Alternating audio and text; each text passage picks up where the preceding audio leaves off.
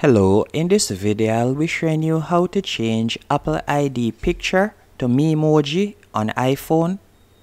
The first thing you will need to do is go into settings.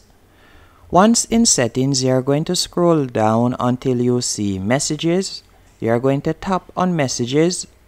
Then you are going to tap on share name and photo.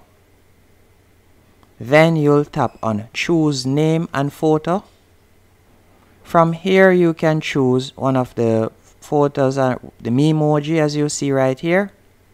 Then you're going to tap on continue. After tapping on continue you can select the color that you would like to use. I like this color right here. Then tap on continue and you'll see the option use this photo everywhere. You are going to tap on use then from here you could add in your first and last name. Then tap on done. And that's it. Now if I should go back to the top of my phone, you can see right there, I currently have a Memoji set as my Apple ID picture. Hope you found this video helpful and informative. If you did, be sure to hit the like button and subscribe and thank you for watching.